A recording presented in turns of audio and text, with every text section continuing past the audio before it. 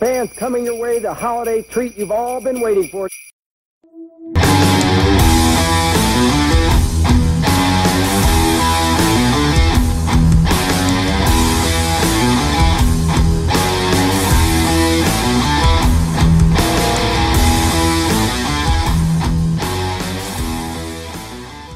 You know Corny and Fuji, Albano and Dillon, Wizard and Heyman and Hart and Creatchman. But do you recall most famous manager of all? Bobby Pretty Boy Heenan was the greatest of all time.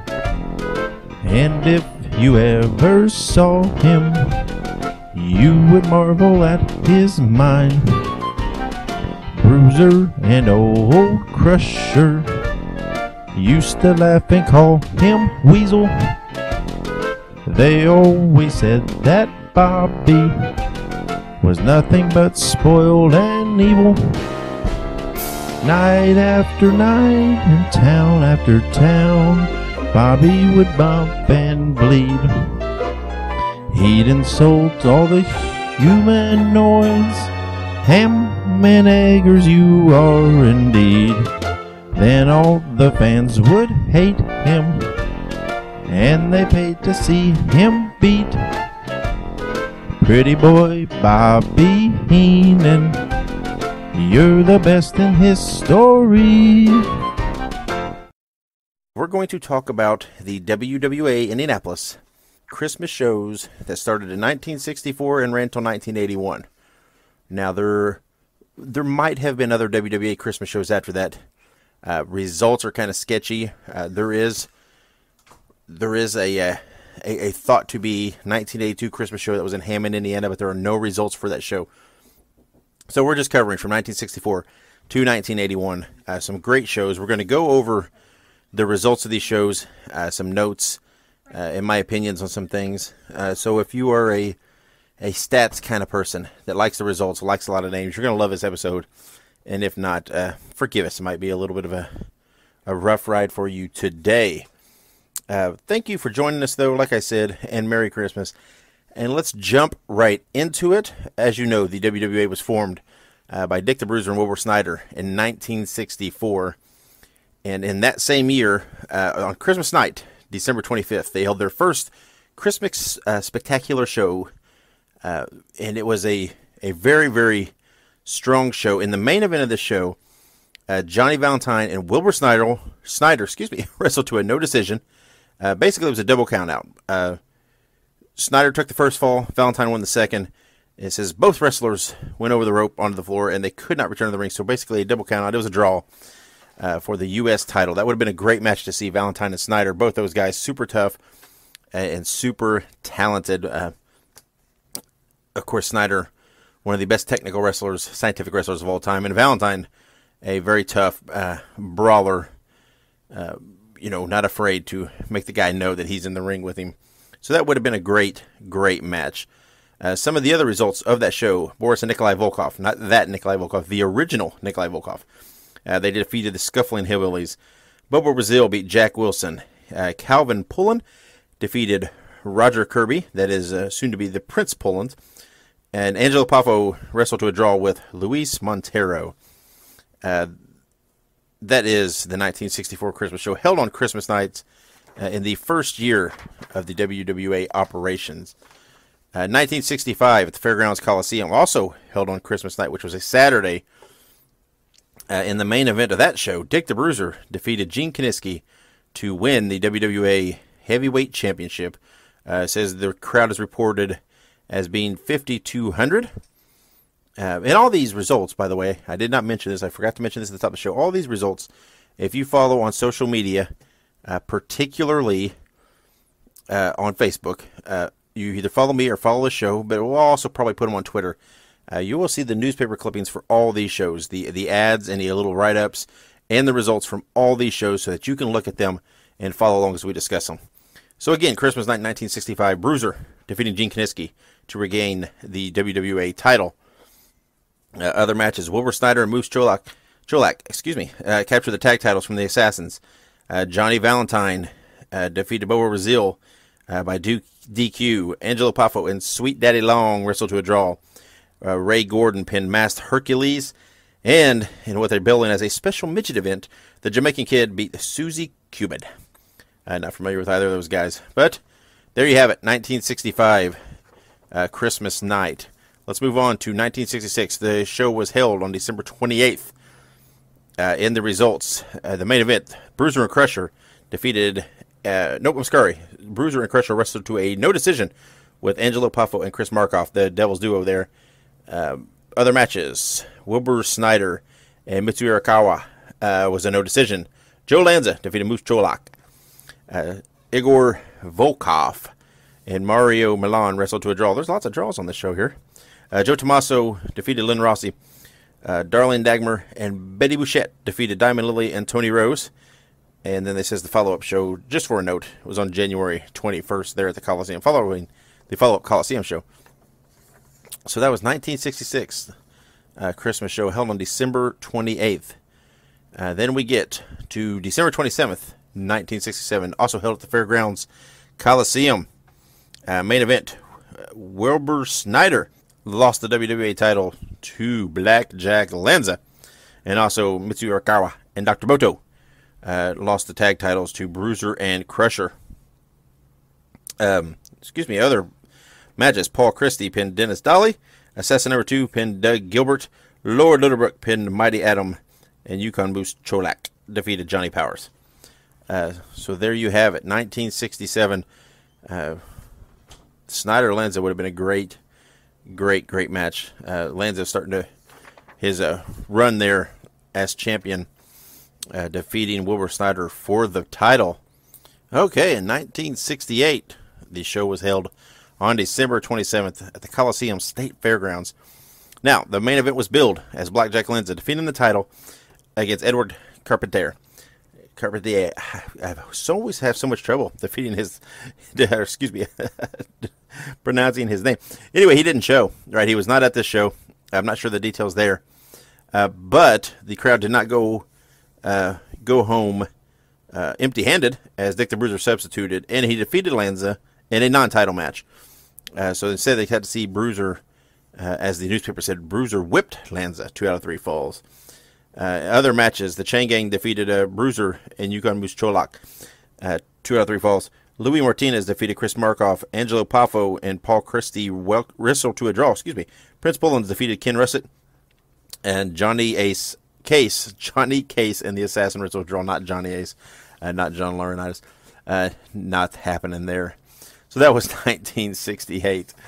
And then in 1969, the show was held on December the 28th uh, at the Coliseum State Fairgrounds. Uh, and in the main event, one of the a match that I would absolutely have have loved to have seen.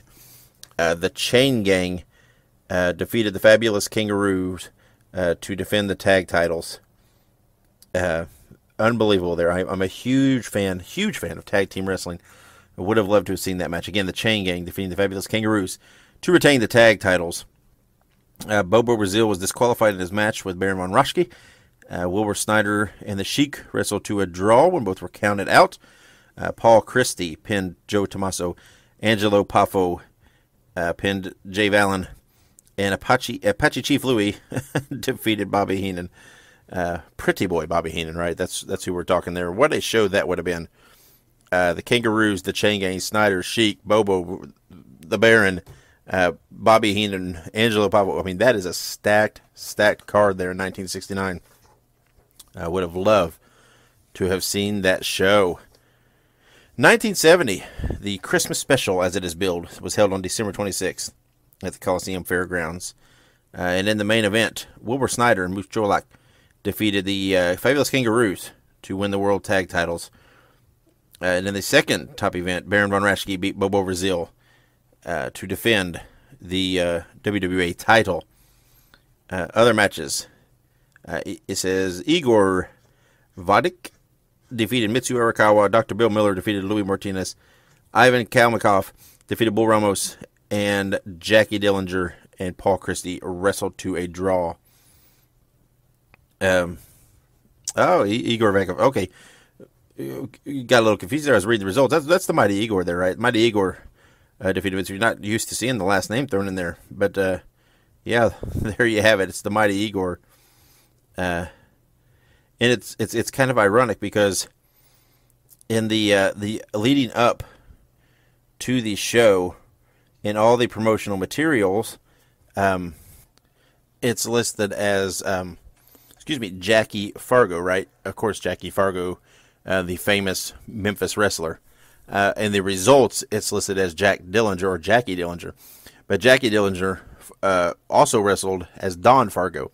So I'm not sure where in all this mix, because even the ad and everything, it's listed as Jackie Fargo versus Paul Christie. And in the results, it's listed as Jackie Dillinger and Paul Christie. So uh, and again, Jackie Dillinger was Don Fargo, so I'm not sure where the communications uh, were confused on that on the name mix-ups, but I'm pretty sure it was Jack Dillinger or Don Fargo in that show, not Jackie Fargo. But and then in 1979, uh, 71, excuse me, 1979, 71, excuse me, on December 29th at the Coliseum, uh, in the uh, main event uh, for the tag titles excuse me, Blackjack Lanza and Blackjack Mulligan defeated Wilbur Snyder and Sailor Art Thomas uh, to retain their titles.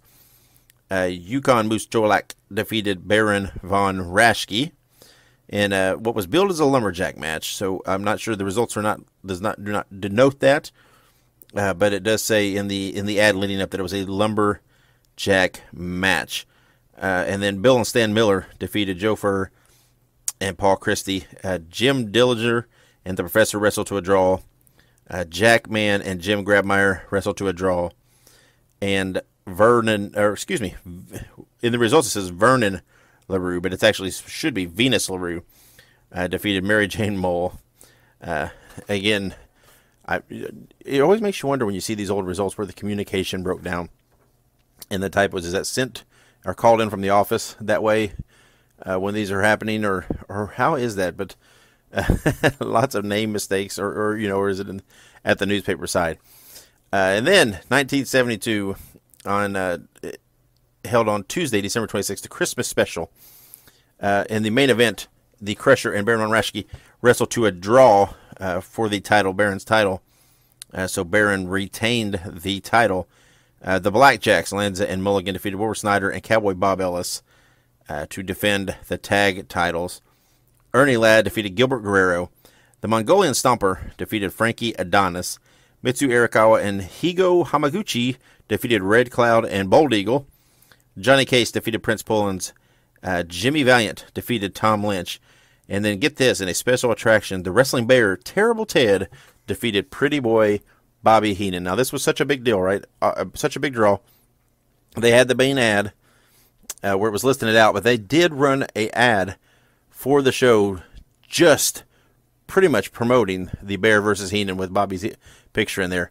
Uh, that would have been a great match, knowing uh, the way Heenan worked and the way he bumped and the way he sold things and his, how he expressed things. To see him wrestle the Bear Terrible Ted uh, would have been pretty incredible to see. So that gets us up through 1972. So let's take a quick break, and when we come back, we'll pick it back up with 1973. 73, excuse me. So stick around. On the twelve days of Christmas the Midwest gave to me Jerry Graham Jr., Baron Von Raschke, Wilbur Snyder, Yukon Moose, Cholak, Cowboy Bob Ellis, Valiant Brothers, Pretty Boy Heenan, Bo, Bo Brazil, the Great Wojo, Ox Baker, the Blackjacks, and a bruiser in the wrestling ring. All right, and welcome back. Here we go. Let's jump right back into it with 1973 uh, WWA Indianapolis Christmas show held on December 26th. Now, this is a pretty, uh, it, it, the card's built a Christmas spectacular, and it truly is spectacular. It uh, is billed in the ad leading up as it's the biggest two rings side by side, two battle royals at the same time, 24 wrestlers, $20,000 in prizes. How about that? Two 12 man battle royals. Uh, they had $10,000 going to each winner. This was a big, big show. Uh, and the winner of winners, excuse me, of those two battle royals were Pepper Gomez and Bruno Sammartino. That's right. We're in the uh, stretch where Bruno was working uh, for Bruiser in the WWA, and him and Pepper Gomez win the two battle royals uh, at the Expo Center uh, on December 26, 1973. Uh, the other matches that were on the show, Wilbur Snyder defeated Cowboy Parker. Uh, Billy Red Cloud defeated Baron von Raschke. Jim Valiant defeated the Professor. Pepper Gomez and Ernie Ladd wrestled to a draw. Uh, Pretty Boy Bobby Heenan defeated Louis Martinez. Cowboy Bob Ellis defeated Ken Dillinger. Bruno Sammartino defeated John Valiant. And Yukon Moose Cholak whipped Mitsu. Uh, so that's 1973. How cool would it have been to see those two battle royals, see Bruno in Indianapolis? Uh, would have been a very, very cool show. That's a big show. Uh, lots going on there. 1974, the show was held at the Expo Center on December 26th. Uh, in the main event, the Sheik defeated Cowboy Bob Ellis. Uh, the Sheik making an appearance in Indianapolis. Uh, and the tag team of Mike Snyder and Paul Christie defeated Kim Duk and Mark Manson. Now, that would have been a very interesting match because, let me tell you, uh, I know I am biased to Midwest Wrestling, but Mike Snyder and Mark Manson are two of the most underrated talents uh, in professional wrestling history, in my mind. Both of them uh, athletic, both of them good workers. Mark Manson was a bump machine. Uh, the man was unbelievable, uh, known for his work with the graduates, but he, dude, could work, right? Because that would have been a great match. I would like to have seen, especially the interactions with Snyder and Manson in that match. No disrespect meant to the other two men, but I would have loved to have seen that. Uh, other matches on the show. Uh, Bobo Brazil defeated Ox Baker by DQ. John Fargo and Jacques Goulet defeated Pepper Gomez and Wilbur Snyder. Eddie Creatchman was disqualified in an arm wrestling match with Sam Menacker. Of course, he was right. Has there ever been an arm wrestling match on a wrestling show that did not end in some dubious fashion with a DQ? I, probably not. Uh, you know what you're going to get when you go into it. uh, Bobby Bold Eagle defeated Mark Manson. Bill Miller defeated Clem Turner. And the Mighty Igor defeated Ricky Hamilton. Uh, so a very good show there in my eyes. Uh, the Sheik and Bob Ellis would have been a great, great main event uh, to see on that show. 1979, uh, the show, excuse me, was held on December 26th at the Expo Center. Uh, and in the main event, Dick the Bruiser and the Crusher uh, teamed up and beat the Legionnaires uh, in a cage match uh, in front of 7,000 fans, it's reported. Uh, would have been a great, great main event. Bruiser, Crusher, the Legionnaires in a cage. that alone would have put the people in the door. in other matches, Pepper Gomez defeated Ox Baker to retain the WWA title. And on the undercard, Moose Cholak defeated Ferdinand Pantera. Spike Huber defeated Ken Dillinger. Uh, Wilbur Snyder wrestled to a draw with the Strangler. Chuck O'Connor defeated Duke George. And Chief Bold Eagle defeated Rodeo Jones. Uh, Chuck O'Connor, an interesting name there. Uh, a lot of you might not be familiar with uh, the name Chuck O'Connor, but you would be familiar with one of his later incarnations, as Chuck O'Connor would later be Big John Studd, uh, getting his start there in Indianapolis and wrestling on that show. 1976, the show was held on December 27th at the Expo Center. Uh, in the main event, the Sheik and Eddie Creatchman defeated Dick the Bruiser and Sam Menacker.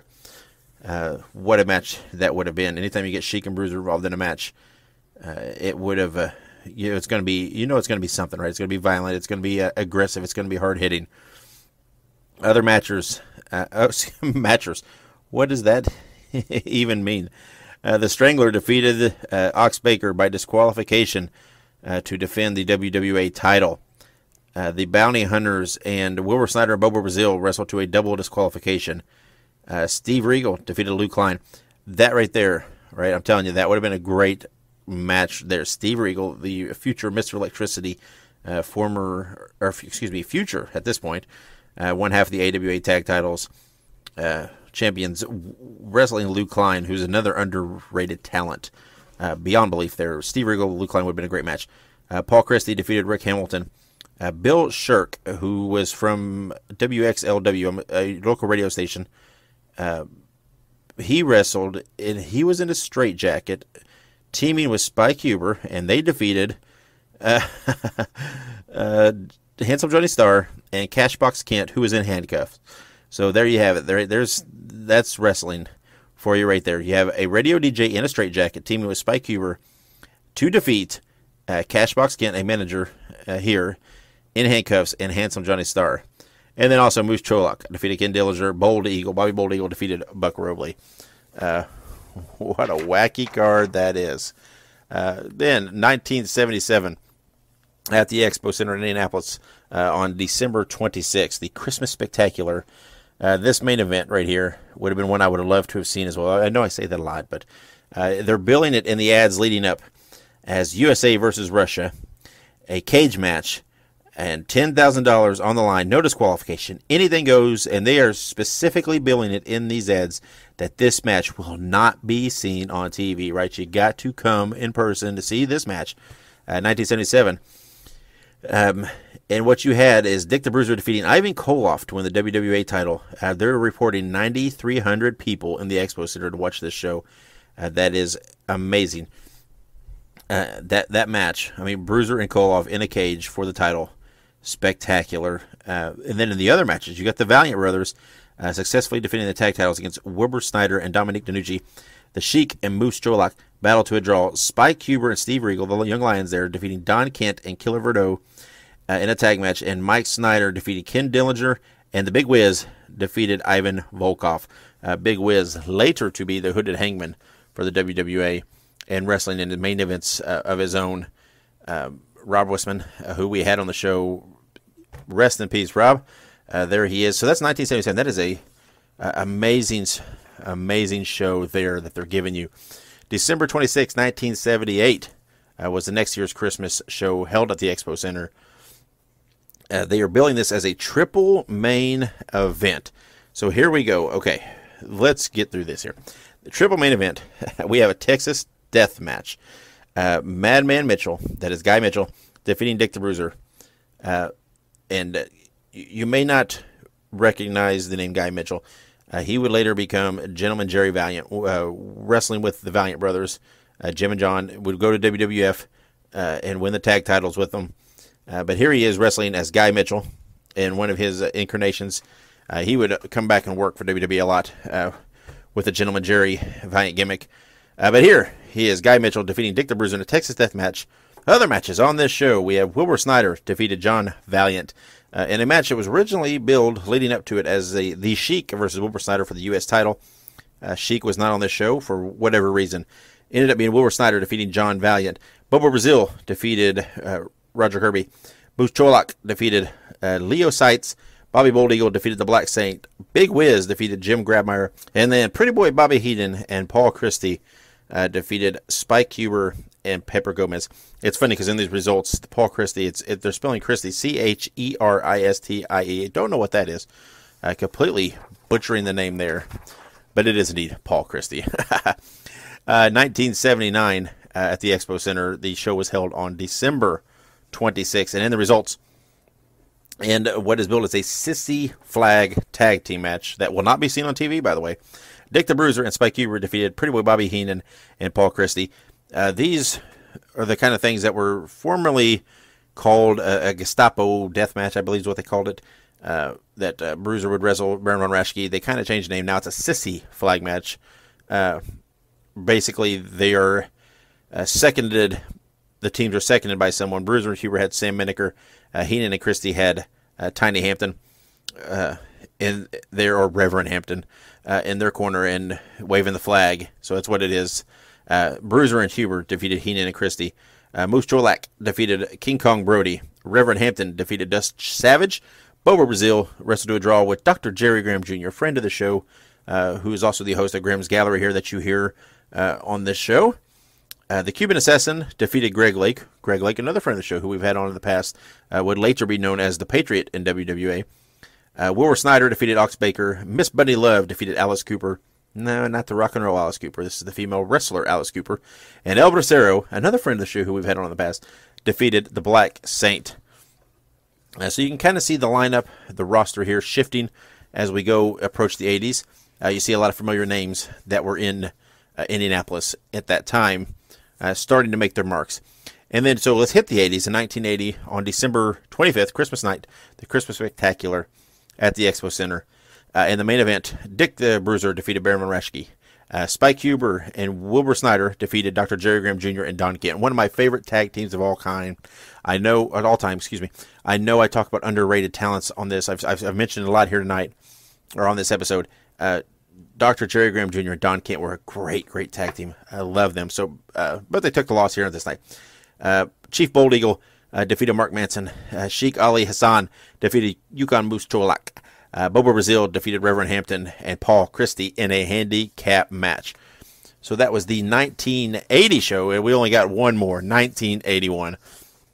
And this time it's held at Market Square Arena, uh, which just opened up in 1974 there in Indianapolis. Uh, and on this night, uh, December 27th, 1981, they're holding the Christmas show there. Uh, in the main event, the Bruiser, Dick the Bruiser, and Spike Huber wrestled to a one hour draw with the Kelly twins. Uh, how remarkable was that? A one hour draw involving Bruiser, Spike Huber, and the Kelly twins. Uh, other matches Moose Cholak defeated Roger Kirby. Wilbur Snyder defeated Jerry Valiant. There he is, Gentleman Jerry Valiant. Valiant. As we spoke earlier, Guy Mitchell. Uh, here he is back. Bobo Brazil defeated the Hooded Hangman, which formerly the Big Wiz. We talked about him earlier, right? Here he is again. He's now the Hooded Hangman. Uh, Rufus R. Jones defeated Paul Christie. And uh, the great Wojo uh, wrestled to a draw with Steve Regal. So there you're seeing uh, Wojo starting to make his mark here, who would obviously be a major, major player uh, in the WWA. Uh, another unbelievably underrated talent uh, in professional wrestling. And there you have it. That's all the Christmas shows. Like I said, there might have been other quote unquote Christmas shows around that time in the future. Uh, there is supposedly one from 1982 that was held in Hammond. There are no results, not any information being found. So this is what we have documented. That's where we stopped 1981. Merry Christmas.